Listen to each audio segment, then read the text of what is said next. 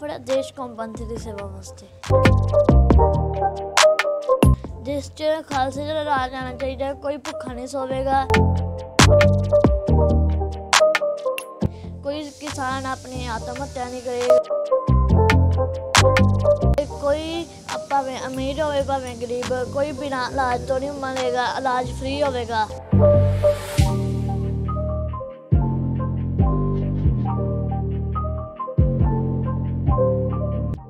ਕਈ ਦਿਨਾਂ ਤੋਂ ਸ਼੍ਰੀ ਹਰਮੰਦਰ ਸਾਹਿਬ 'ਚ ਜਾਂਦੇ ਛੋਟੇ ਬੱਚੇ ਦੀ ਇੱਕ ਵੀਡੀਓ ਖੂਬ ਵਾਇਰਲ ਹੋ ਰਹੀ ਹੈ, ਜਿਸ ਵਿੱਚ ਉਹ ਹੱਥ 'ਚ ਤੀਰ ਫੜ ਕੇ ਅਤੇ ਨਿਹੰਗ ਸਿੰਘ ਦਾ ਬਾਣਾ ਪਾ ਕੇ ਸੱਚਖੰਡ ਸ਼੍ਰੀ ਹਰਮੰਦਰ ਸਾਹਿਬ 'ਚ ਨਤਮਸਤਕ ਹੋਣ ਜਾ ਰਿਹਾ ਹੈ। ਅਤੇ ਇਹ ਵੀਡੀਓ ਵਾਇਰਲ ਹੋਣ ਤੋਂ ਬਾਅਦ ਲੋਕ ਕਾਫੀ ਤਰ੍ਹਾਂ ਦੇ ਕਮੈਂਟ ਕਰਨ ਲੱਗੇ ਨੇ ਅਤੇ ਕਈ ਲੋਕਾਂ ਨੇ ਕਮੈਂਟਾਂ ਵਿੱਚ ਲਿਖਿਆ ਹੈ ਕਿ ਇਹ ਸੰਤ ਜਰਨੈਲ ਸਿੰਘ ਖਾਲਸਾ ਪਿੰਡਾਂ ਵਾਲਿਆਂ ਵਰਗਾ ਦੇਖ ਰਿਹਾ ਹੈ। ਜਦੋਂ ਇਸ ਬੱਚੇ ਨਾਲ ਗੱਲਬਾਤ ਕੀਤੀ ਗਈ ਤਾਂ ਉਸ ਬੱਚੇ ਨੇ ਇਸ ਸਭ ਬਾਰੇ ਕੀ ਕਿਹਾ? ਤੁਸੀਂ ਆਪ ਹੀ ਸੁਣ ਇਹ ਆਪਣੇ ਝਗੜੇ ਭੁੱਲ ਕੇ ਇਕਜੁੱਟ ਹੋ ਜਾਣਾ ਅਤੇ ਖਾਲਸੇ ਦੀ ਰਾਜੀ ਪ੍ਰਾਪਤੀ ਦੀ ਤਿਆਰੀ ਕਰਨ ਸੰਤ ਕਹਿੰਦੇ ਮੈਨੂੰ ਬਿਲਕੁਲ ਨਹੀਂ ਚੰਗਾ ਲੱਗਦਾ। ਸੰਤ ਦੇ ਉਹੀ ਵੱਡੇ ਵੱਡੇ ਟੈਂਕਾਂ ਦਾ ਸਾਹਮਣਾ ਕਰਦੇ ਪਏ ਸੀ।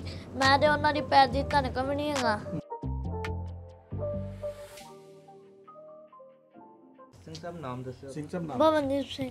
ਬਬਨਦੀਪ ਜੀ ਅਹ ਤੁਸੀਂ ਕੀ ਕਹਿਣਾ ਚਾਹੋਗੇ ਅਹ ਤੁਸੀਂ ਜੋ ਤੀਰ ਫੜਿਆ ਕੀ ਕਹਿਣਾ ਚਾਹੋਗੇ ਇਹਦੇ ਬਾਰੇ?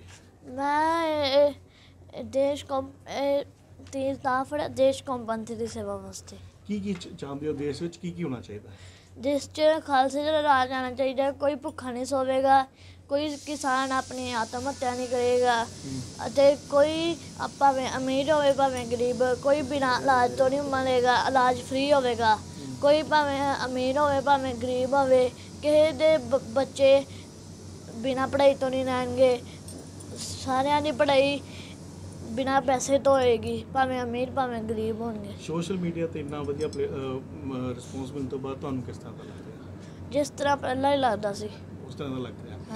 ਜੇ 6 ਜੂਨ ਨੂੰ ਕੀ ਸੰਦੇਸ਼ ਦੇਣਾ ਚਾਹੋਗੇ ਕਿ 6 ਜੂਨ ਨੂੰ ਕੀ ਹੋਣਾ ਚਾਹੀਦਾ? ਜੇ ਗਿਆਨੀ ਹਰਪ੍ਰੀਤ ਸਿੰਘ ਤੁਹਾਡੇ ਲਾਗੇ ਹੋਣ ਮੈਂ 6 ਜੂਨ ਨੂੰ ਤੇ ਸ੍ਰੀ ਅਕਾਲ ਤਖ਼ਤ ਸਾਹਿਬ ਜਥੇਦਾਰ ਸਾਹਿਬ ਜੀ ਨੂੰ ਆਹੀ ਕਹਿਣਾ ਚਾਹਾਂਗਾ ਖਾਲਸੇ ਨੂੰ ਜੋ ਮੈਂ ਸੰਦੇਸ਼ ਦਿੱਤਾ ਹੈ ਉਹੀ ਸੰਦੇਸ਼ ਦੇਣ ਖਾਲਸੇ ਨੂੰ। ਕੀ ਹੋਣਾ ਚਾਹੀਦਾ ਸੰਦੇਸ਼? ਖਾਲਸੇ ਨੂੰ ਆ ਕਹਿੰਦੇ ਇਹ ਆਪਣੇ ਝਗੜੇ ਭੁੱਲ ਕੇ ਇਕਜੁੱਟ ਹੋ ਜਾਣਾ ਅਤੇ ਖਾਲਸੇ ਦੀ ਰਾਜੀ ਪ੍ਰਾਪਤੀ ਦੀ ਤਿਆਰੀ ਕਰਨ ਜਦੋਂ ਤੁਸੀਂ ਹਰਮੰਦਰ ਸਾਹਿਬ ਪਹੁੰਚਦੇ ਹੁਣ ਕਿਸ ਤਰ੍ਹਾਂ ਦਾ ਲੱਗਦਾ ਹੈ ਕਿ ਜਦੋਂ ਹਰਮੰਦਰ ਸਾਹਿਬ ਪਹੁੰਚਦੇ ਹੋ ਲੋਕੀ ਫੋਟੋਆਂ ਖਿਚਾਉਂਦੇ ਨੇ?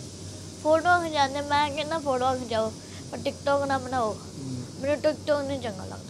ਟਿਕਟੋਕ ਨਹੀਂ ਚੰਗਾ ਲੱਗਦਾ ਤੇ ਤੁਹਾਨੂੰ ਲੱਗ ਚੰਗਾ ਲੱਗਦਾ ਜਦੋਂ ਤੁਹਾਨੂੰ ਸੰਤ ਕਹਿੰਦੇ ਨੇ ਜਾਂ ਛੋਟੇ ਸਿੰਘ ਸਾਹਿਬ ਕਹਿੰਦੇ ਨੇ ਲੋਕ? ਸੰਤ ਕਹਿੰਦੇ ਮੈਨੂੰ ਬਿਲਕੁਲ ਨਹੀਂ ਚੰਗਾ ਲੱਗਦਾ। ਸੰਤ ਦੇ ਉਹੀ ਵੱਡੇ ਵੱਡੇ ਟੈਂਕਾਂ ਦਾ ਸਾਹਮਣਾ ਕਰਦੇ ਪਏ ਸੀ।